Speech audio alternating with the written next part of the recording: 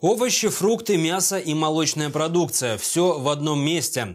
Как мы уже сообщали в выпусках новостей телеканала «Регион-12», с начала февраля в Йошкар-Оле откроется новый сельскохозяйственный рынок на 250 торговых мест. Планируется, что здесь будет продаваться продукция местных производителей, то, что сейчас они привозят из районов на ярмарке выходного дня.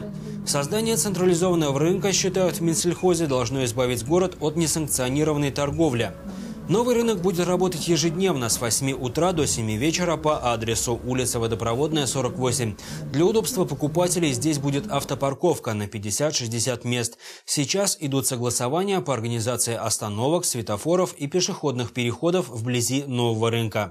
Ведутся согласования по организации маршрутов э, движения э, пассажирского транспорта э, по улице Водопроводной, Аршанское шоссе. Кроме того, производятся работы и необходимые согласования по открытию пункта общественного питания на территории рынка.